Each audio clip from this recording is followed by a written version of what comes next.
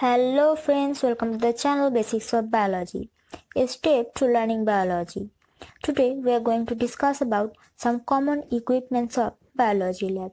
So friends, those of you who have recently started practical classes in lab, you will surely interested to know about the name and functions of some common lab instruments. So let's start the discussions. Lab coat and gloves. First of all, it's mandatory to wear your lab coat and gloves, so don't forget to wear before entering the lab. Now, the question will arise in your mind why? Because it provides protection to your skin and personal clothing from chemical chemical burns, heat, etc. And it also provides protections from direct contact with many infectious agents and microorganisms. Next, biology box. Many of you have used biology box since 9th standard or even earlier. Let's see what is it and what it contains. So, biology box is designed for biology students and it contains many equipments which are made of stainless steel and it contains magnifying glass, knife, scissors, plates, needles, glass slide, cover slip and many other instruments. These are test tubes made of glass and it used to handle liquid solutions like chemicals, microbial culture for different types of experiment. Next, conical flask. These are also made of glass. Generally, it's used to heating and mixing the chemical solutions and it's also used as a short-term storage of chemical or microbial culture solutions. Now, nepheloculture flask or nephelometric flask. These are similar to conical flask, but it have a side arm which is look like test tube, and it used to measure turbidity of a liquid or microbial culture by using spectrophotometer. These are measuring cylinder. It's a cylindrical glass pot. Generally, it's used to measure the volume of liquid solutions, chemicals, or water in lab for further experiments. Petri dish or Petri plate is a transparent leaded dish. It's used to culture different types of cells and microorganisms like bacteria and fungi. Next, inoculating loop. It's a simple tool used by microbiologists. It's used to pick up and transfer small sample of microorganisms called inoculum from a microbial culture. These are uh, filter paper.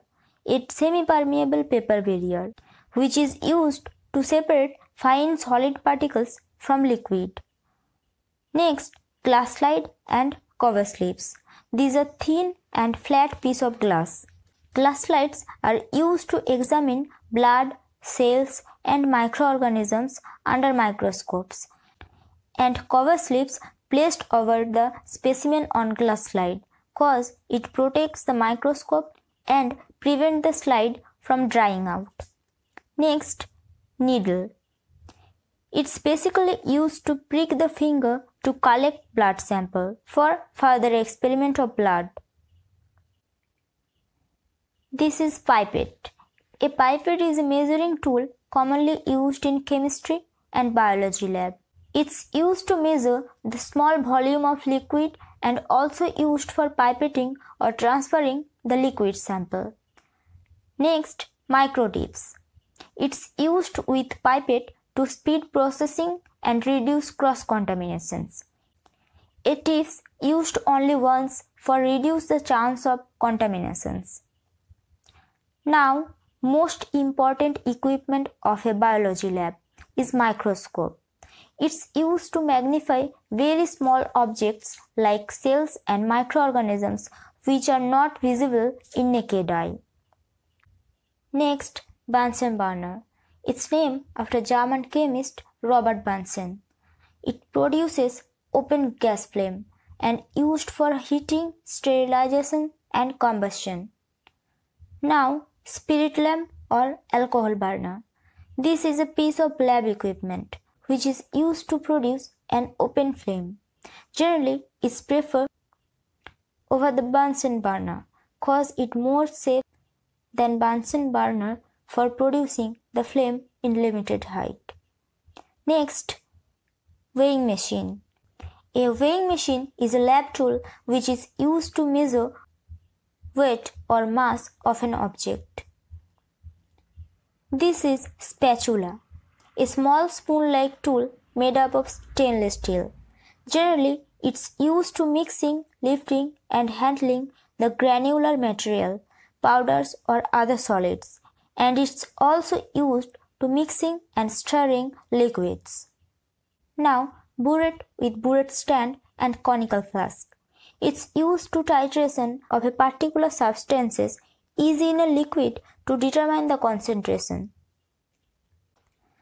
So guys, these are some commonly used lab instruments. Hope this discussion will help you. Thank you for watching the video. Please keep supporting my channel because your support is my encouragement to do more tutorial video for you. If you like today's video, please like, share and subscribe the channel Basics of Biology.